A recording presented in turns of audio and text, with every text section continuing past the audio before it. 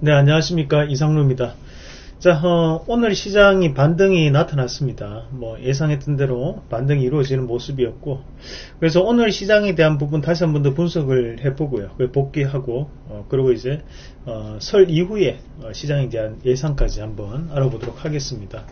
자, 우선 이제 2600포인트, 어, 전일 저희가 이제 유튜브 상에도 말씀을 드렸다시피, 다행히 2600포인트에 대한 부분에서 신규 매수 및 저가 매수가 어, 정확하게 이제 예측이 성공을 하면서 오늘 반등이 좀 나타났습니다.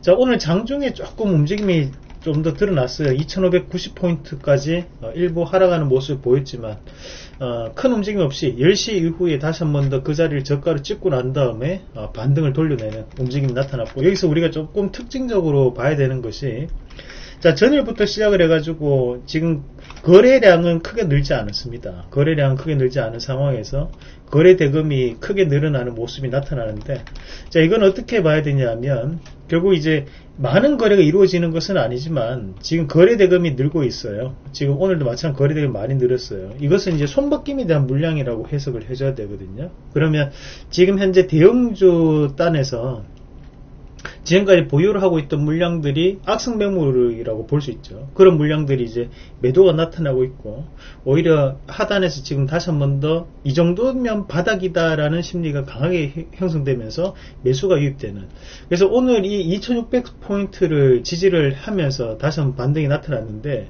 어, 이는 결국 시장에 대한 추세 우리가 이제 코로나가 터지고 난 다음에 어, 추세가 어, 지금 꾸준하게 하락을 해왔지만 지금 이 추세대 안에서 움직임이 여전히 살아있다고 보는 게 맞습니다. 그러면 현재는 이 추세대 안에서 다시 한 번 더 상승에 대한 포인트로 잡아갈 수 있는 그런 움직임이 나타났다라고 저는 판단을 합니다. 그래서 지금 오늘에 대한 반등은 상당히 의미를 좀 둘 수 있는데요.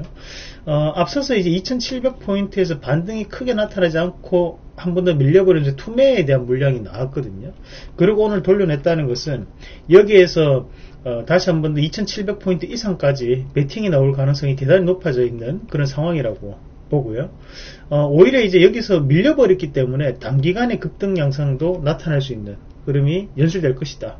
지금 최근에 이제 많은 분들이 예상을 하는 것이 여기서 반등이 나오더라도 옆으로 행보 내지 조정에 대한 것을 많이들 얘기를 하시더라고요. 저는 조금 다르게 보는 것은 어, 빠질 때 지금 현재 각이 상당 부분 이제 붙었습니다. 지금 시장에서 가장 안 좋았던 움직임이 뭐냐면 각이 크지 않았다는 거죠. 이렇게 이제 러프하게 흐름이 나타나면서 이렇게 움직였을 때는 올라갈 때도 큰 각을 이루지 못하고 이런 식으로 서서히 올라가게 됩니다.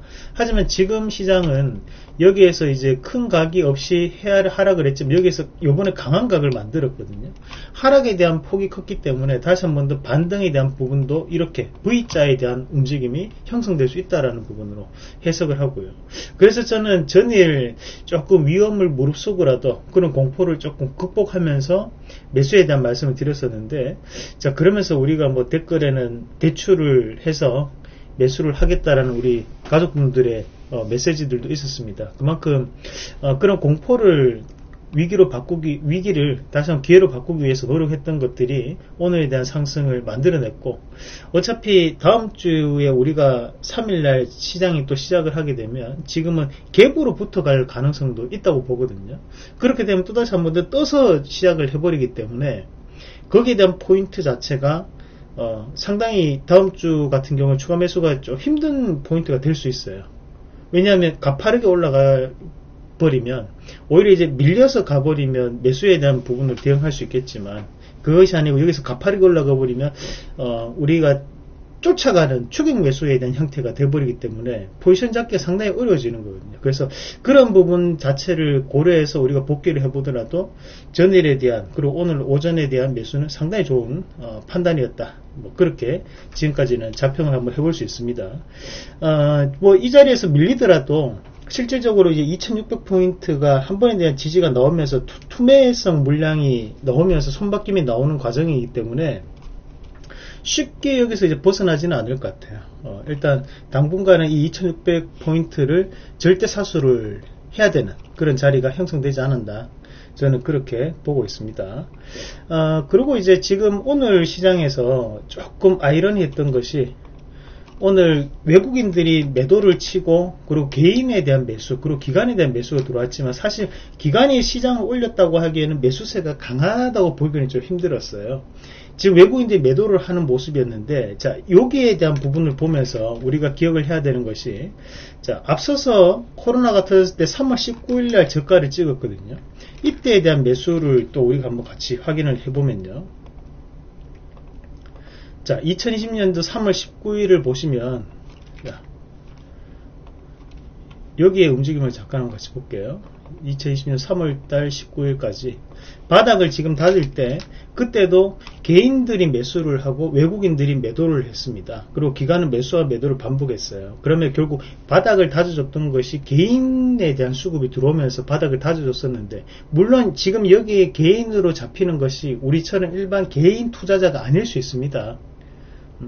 음, 정말 큰 손이 될 수 있어요. 하지만 그런 똑같은 형태를 지금 띄고 있다는 것은 어, 저는 지금 현재 2600포인트 전후에 대한 저 자리가 바닥의 구간으로 형성될 가능성도 높다고 봐요. 그러면 우리가 그때 코로나가 터졌을 때 3월 19일 이후에 증시가 올랐던 것이 갭을 통해서 오르는 모습들이 많이 나타났었거든요. 그러면서 이제 여기에서 페이크 물량이 한번 들어갔었고요. 그때도 마찬가지로 거래대금이 늘어나는 모습이었습니다. 어, 마찬가지 현재 여기에 대한 포인트를 해석한다면 다시 한번 밀린다면 그것은 또다시 한 번 더 좋은 기가 될 수 있다. 어, 쫄지 말자. 어, 그 말씀을 좀 드리도록 하겠습니다. 자, 오늘 특징적으로 웬만한 종목군들은 다들 반등을 좀 붙이는 모습을 보였습니다. 그런데 그 중에서도 이제 빠진 종목이 SKI 테크놀로지라든지 어, 또는 지금 현재 LG 에너지 솔루션 이런 종목군들이 빠지는 모습이었는데 자 그러면서 지금 외국인 그 지금 연기금이 매수를 했는데 대표님 이게 왜 빠집니까 이렇게 질문하신 분도 어제 계시더라고요 어, 간단히 좀 답변을 드리면 지금 현재 이 LG 에너지 솔루션이 K200 지수에 편입이 안 돼 있는 상황입니다 우리가 시, 여기서 보시면요 어, 거래소에는 편입이 되어 있지만 아직까지는 어, 코스피 지수에는 편입이 됐지만 K200 지수에 편입이 안 되어 있는 거죠. 대신 시가총액은 2위를 지금 현재 어, 가리키고 있고요. 어, 우리가 이제 편입이 되면 이제 종목군들을 보면 자 이런 식으로 이제 전기전접저 K200, 뭐 KRX 300 이런 식으로 뜨게 됩니다. 그런데 지금 현재 우리가 지금 연기금에 대한 매수는 어떻게 봐야 되느냐? 결국에는 어, 우리가 200 지수에 편입이 안 돼 있는 상황이지만 우리가 200 지수에 편입이 되면 인덱스 펀드를 운영하는 입장에서는 일정 부분에 대한 비율로 매매를 매수를 해놔야 되거든요. 그러면 그에 따른 매수를 한 번만에 하면 시세에 대한 왜곡이 나타날 수 있겠죠. 그래서 지금 미리 일부 선매수가 들어오고 있는 과정이다. 그렇게 봤을 때는 지금 현재 연기금에 대한 매수는 단기적인 흐름을 보고 매수하는 것은 아니라고 생각을 하셔야 돼요. 그러면 긴 흐름 안에서 어, 비율을 조정하기 위해서 지금 매수가 들어오는 부분이라고 본다면 지금 연기금에 대한 매수가 들어오더라도 우리가 상방으로 해석하는 것은 무리가 있다는 거죠. 왜냐하면 외국 지금 현재 연기금에 대한 판단은 길게 보는 입장이거든요. 그래서 그런 부분을 좀 참고하셔서 어, 좀 대응을 할 필요가 있다. 지금 연기금 매수를 한다고 해서 이 종목이 단기간에 반등이 나올 것이다. 그렇게 보기 조금 어렵습니다. 지금 어제 SK증권에서 지금 레포트를 냈던 것도 목표가 49만 원이었거든요. 지금 공모가가 30만 원이니까 지금 상당히 어중간한 가격대 현재 형성되어 있는 그런 부분이고요. 지금 현재 링드스타이 같은 경우 최근에 주가가 꾸준하게 하락을 하는 모습을 보여왔기 때문에 지금 LG 솔루션도 당분간은 조금은 관망에 대한 시선이 유지가 조금 필요하지 않나 오히려 좀 더 추가적인 하락이 나타났을 때 우리가 장기적 관점에서 어, 다시 한번 대응해보는 전략으로 그렇게 꾸며 나가야 될 것 같습니다.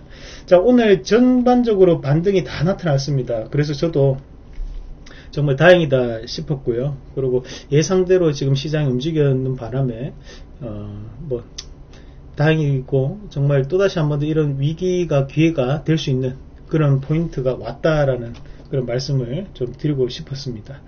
자, 어, 오늘 너무 수고 많으셨고요. 이제 요 끝나면 이제 또 명절인데 명절 다들 잘 보내시고 어, 2월 달은 좀더 어, 좋은 시장의 모습 그러니까 2월 초에 다시 한 번 더 반등을 좀 붙여내는 모습들이 나올 거라고 기대합니다. 어, 2월 달 기대하면서 어, 또 명절 푹 쉬고 어, 명절 끝나고 난 다음에 어, 다시 또 즐거운 모습으로 뵙도록 하겠습니다. 네, 수고 많으셨습니다.